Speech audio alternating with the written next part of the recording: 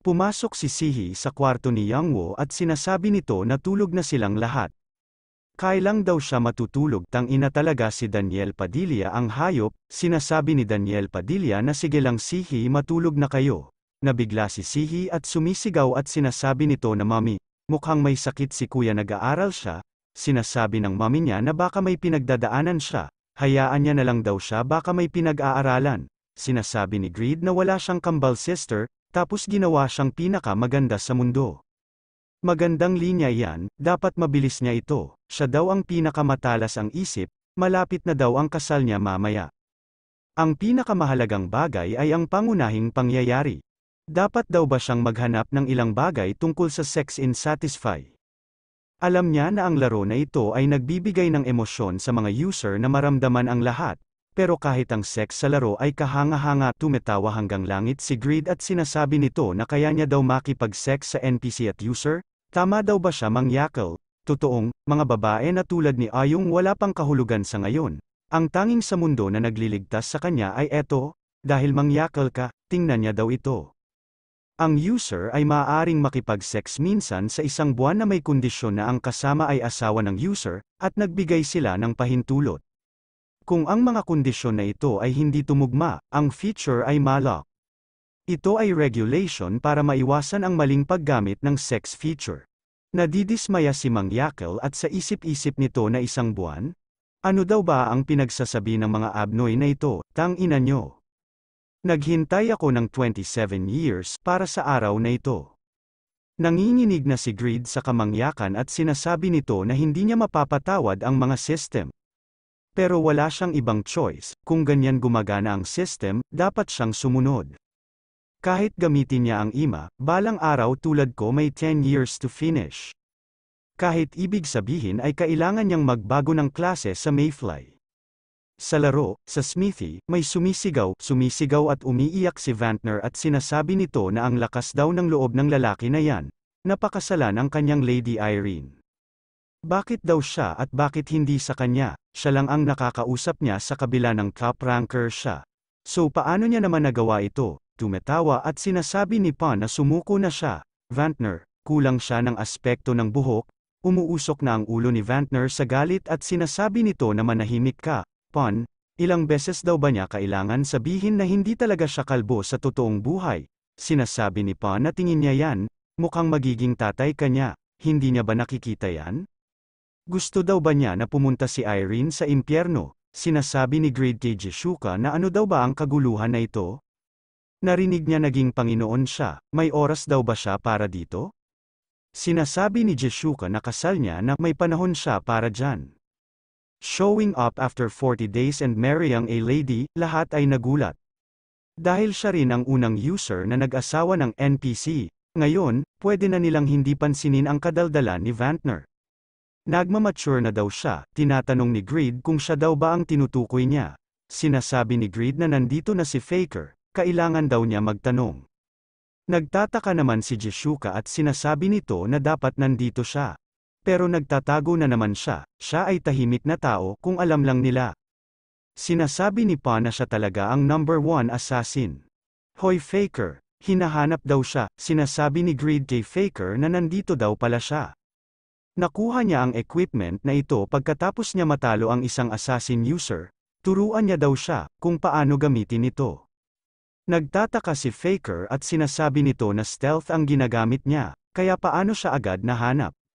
Sigurado siya na nagbago siya mula ng ilang buwan na ang nakaraan, kung saan siya ay laging nagmamadali. Ganito na ba siya kalakas, isang kakayahan na magbasa ng nature ng tao at composure pandagdag dito. Ito ang impluensya ng kanyang insight stat, na mahigit sa anim na raan. Sa isip-isip ni Greed na ngayon nakita niya na kung bakit sinabi ng Guildmaster na mas naging mature siya. Sinasabi ni Faker na isang trap installation tool at poison combination machine. Ito ay top quality, sinasabi ni Greed na si Shay ang tinalo niya at ang mga kasama niya. Nahulog niya ito nang siya ay namatay, gulat na gulat si Faker at sa isip-isip nito na si Shay ang ikalimang sa assassin ranking. At ang mga kasama niya, ay sila Sniffer at Curb, daw ba ang ibig sabihin niya? Tinalo niya mag-isa ang mga assassin rankers na yan? Sinasabi ni Jeshuka kay Greed na magsisimula na, dapat na siyang umalis. Sa isip-isip ni Faker na nabanggit ni Jeshuka na may potensyal siya higit kay Pan at Rigas.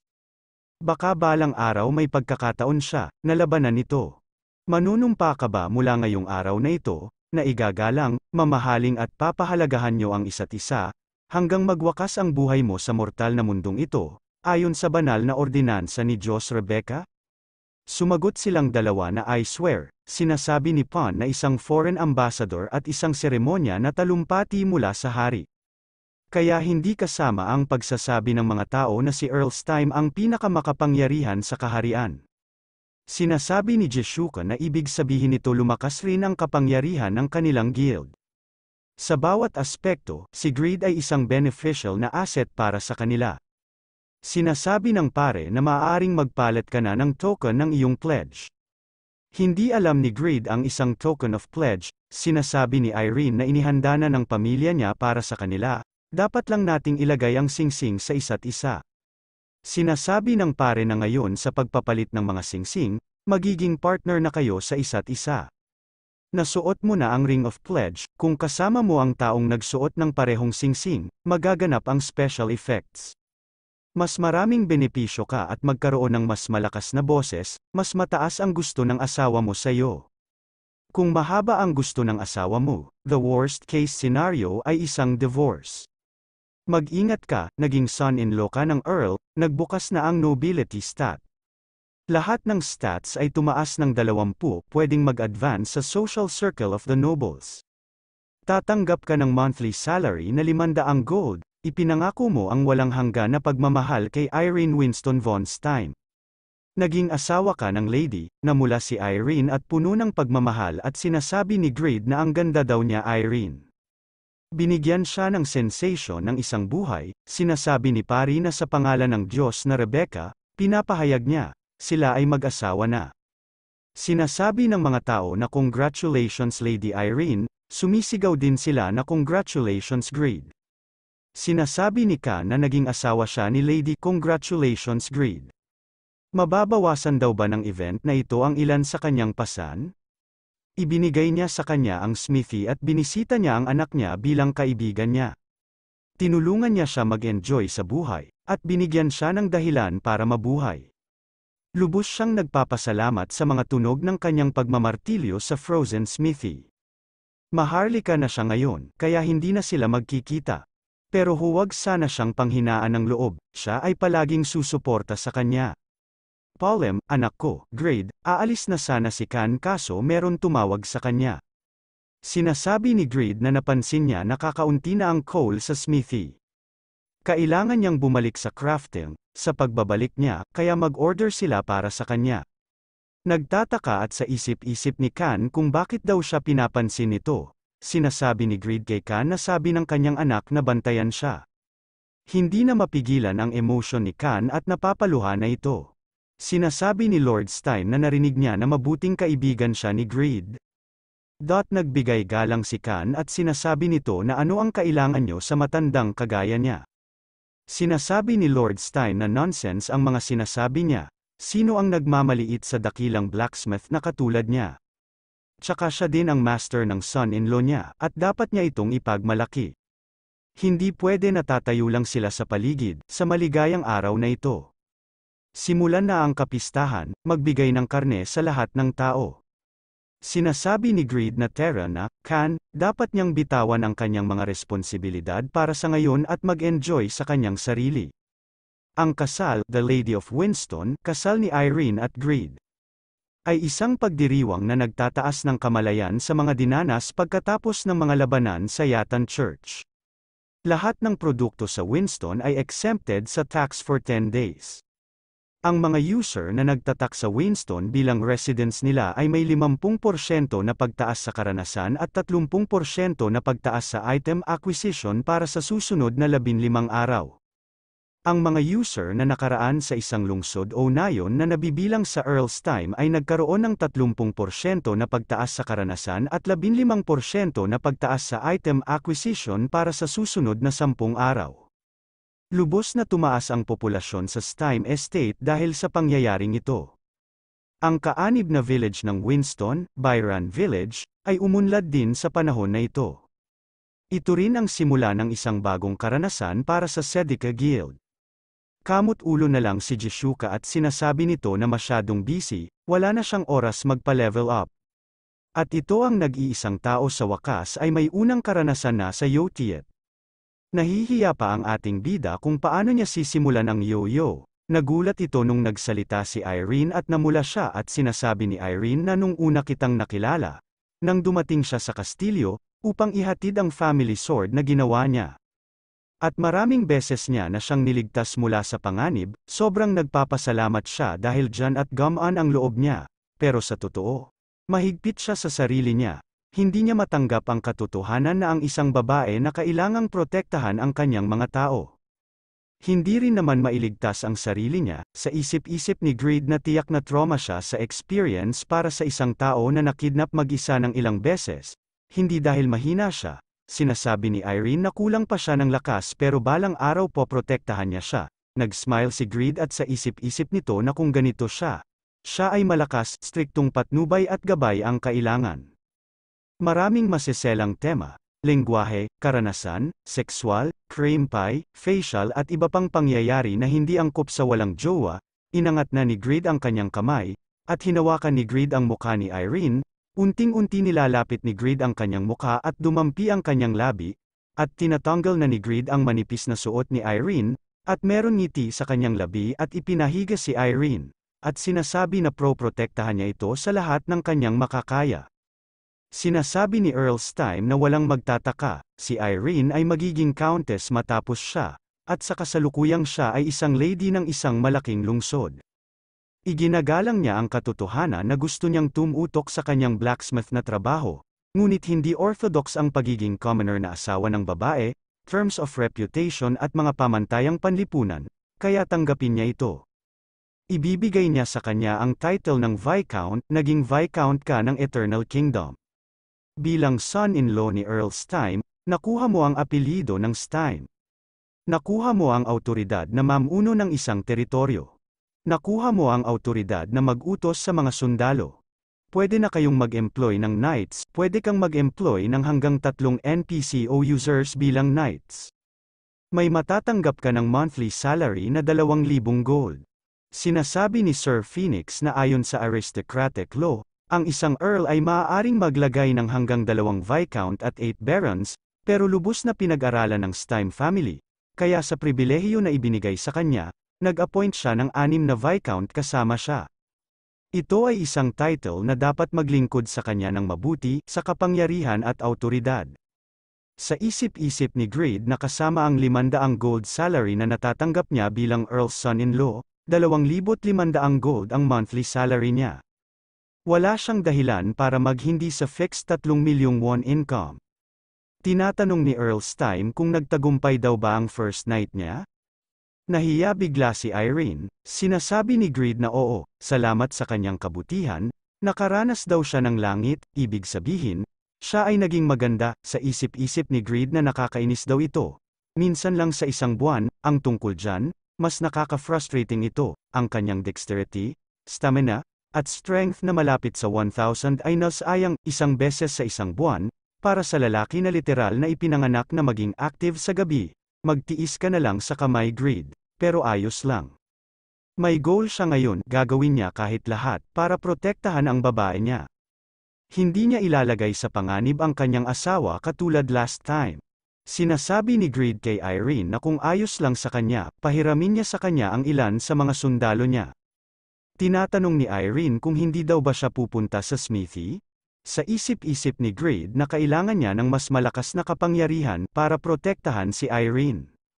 Sinasabi ni Greed na plano niya na mag-expedition upang protektahan ang kanyang teritoryo. Tatalunin niya ang Guardian of the Byron Forest na naging banta sa kanyang mga tao.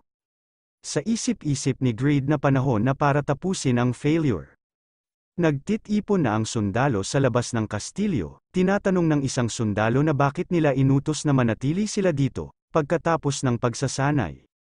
Sila lang ang 1300 na tao sa unit na nandito. Sumagot naman ang isang sundalo na sila ang dahilan ng maraming mga sakuna, siguro ito ay isang parusa. May dalawang libo lang na army sa ngayon sa Winston dahil sa labanan sa Yatan Church. Kailangan nila lahat ng lalaki na natitira, kaya di niya akalain magiging harsh sila? Tinatanong ng soldier kay Kapitan Jude kung bakit sila tinawag. Sumagot naman si Kapitan Jude na hindi niya daw alam. Ang kanilang kapitan ay malakas kaso wala itong utak. Sumang-ayon naman ang isang sundalo, sumisigaw ang isang kapitan at sinasabi na tumahimik ang lahat, at ang lahat ng atensyon ay pumunta dito. Nandito si Viscount Greed. Sinasabi ng soldier na siya ang bayani na nagligtas kay Lady. Nagulat at sinasabi ng isang soldier na narinig daw niya na siya ay isang amazing blacksmith. Siya ay kahangahangang sa isip-isip ni Greed na sila ba ang 100-man unit ni Irene na hinanda niya para sa kanya. Mukhang mas malakas sila kaysa sa mga normal na sundalo ng Winston. Dapat niyang malaman ang kakayahan nila bago ang expedition. Susubukan niya ba ang sword na natanggap niya kay Irene, Commander's Sword? Isang sword na binigay sa mga military commanders na itinalaga ng ROYALTYO nobles, nagbibigay ito sa military commander ng advantage, at nagbibigay ng kakayahan makita ang lakas ng mga sundalo. Dignity plus 30 kasanayan, character observation ay nabuo, character observation. Makikita mo ang personal na impormasyon ng mga kakampi at ang kanilang kasalukuyang stats, at ang limitasyon ng kanilang stats, at ang kanilang mga kasanayan, ang iyong insight ay higit sa 600 points, character observation level 3 ay na-activate, name, Romeo. Age, 34, gender, male, occupation, Lady Irene's Knight. Level, 176, strength, 878 910, stamina, 420 441, agility, 253 270.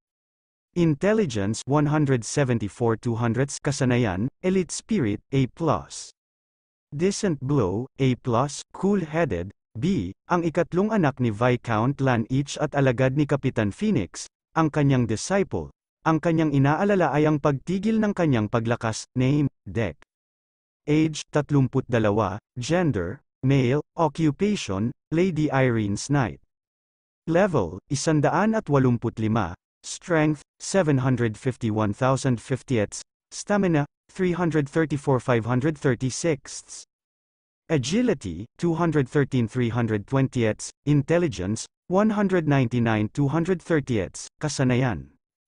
Pambabula, kakayahan na hawakan ang sitwasyon, conventional swordsmanship, ang kanyang kakayahan na magbasa ng sitwasyon ay mabuti, lagi siya kumikilos ayon sa mga kalakaran at may malakas na ambisyon para sa tagumpay, may potensyal siya na maging commander, sa isip-isip ni Greed na talagang nagbibigay ang sword na ito ng maraming impormasyon, may tatlong NPC na nagtitipon para sa expedition na ito.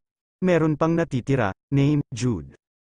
Age, 25, gender, male, occupation, captain of Winston's 13th 100-man unit. Level, 103, strength, 818 2080 Stamina, 431 908 Agility, 34 330 Intelligence, 11 20 Kasanayan, pagnanakaw ng sandata ng kalaban. Tahimik, walang pag-iisip, isang rare na tanga, ipinanganak sa Winston. Siya ay isang natural-born warrior na may naturang lakas. Kulang siya sa talino kaya hindi siya angkop sa anumang mataas na posisyon. Sa isip-isip ni Grid na ang lalaking ito, medyo mabababa ang kanyang pangkalahatang stats kumpara sa dalawa, pero consider niya ang level niya, mataas na talaga. Higit pa dyan, katangahan ang kanyang maximum stat growth. Kung maaabot niya ang maximum, kahit dalawang beses lang mas malakas siya kay Romeo. Basura ang kanyang intelligence, pero ang ganda ng skill rank niya at maaari maging mabuti ang kanyang katangahan. Ima, tulungan siya na lumago bilang knight niya, nagsalita na si Greed at sinasabi nito na makinig ng mabuti. Hunt nila ang Guardian of the Forest, nagulat si Romeo sa sinabi ni Greed at sinasabi nito na sa isang daang lalaki lang? Mahirap matalo ang Guardian of the Forest, kahit isama niya ang lahat ng troops ng Winston. At kailangan nilang ng at least two magicians, ang Winston ay walang magicians ang mataas ang level. Tinatanong nito kung plano niya bang dalhin ang Sedica Guild ng Byron Village. Sumagot si Greed na hindi, gagawin nila ito sa bilang ng mga tao. Sa isip-isip ni Greed na para magkaroon siya ng blue orichalcum, ang ingredient ng failure, ang lahat ng ito ay para lang sa kanya, hindi niya dapat isama ang mga guild members. Tsaka, siya lang ay sapat na para matalo ang guardian upang magsimula. Nagwawala na naman si Vantner at sinasabi nito na Master, kailangan niyang ipaintindi kay Greed.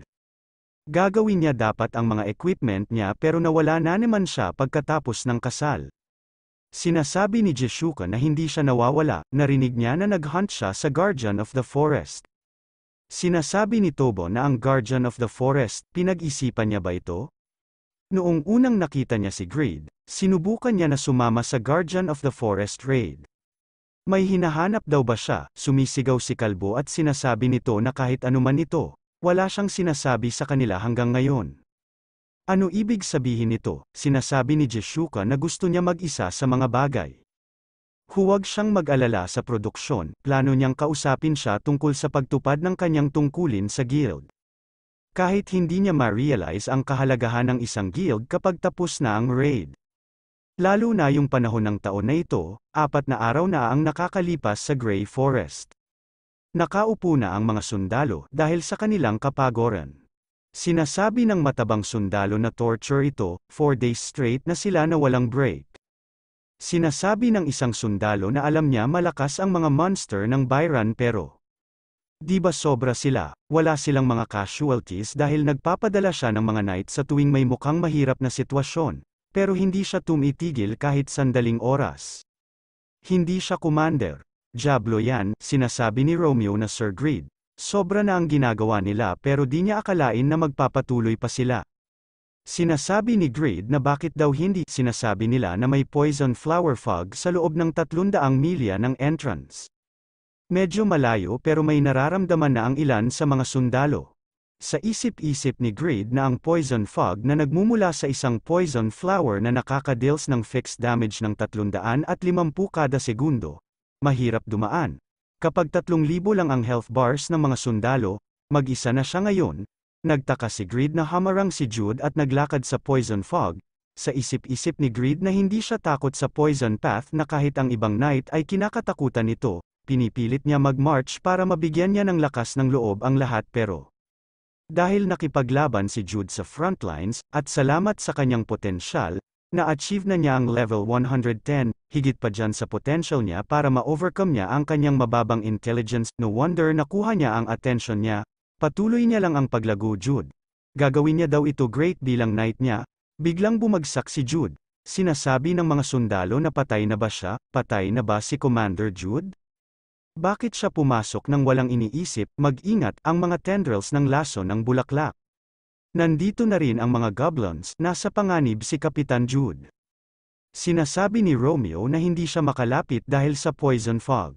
Sinasabi ni Deck na hindi natin maaaring ipahamak ang lahat ng buhay ng mga sundalo.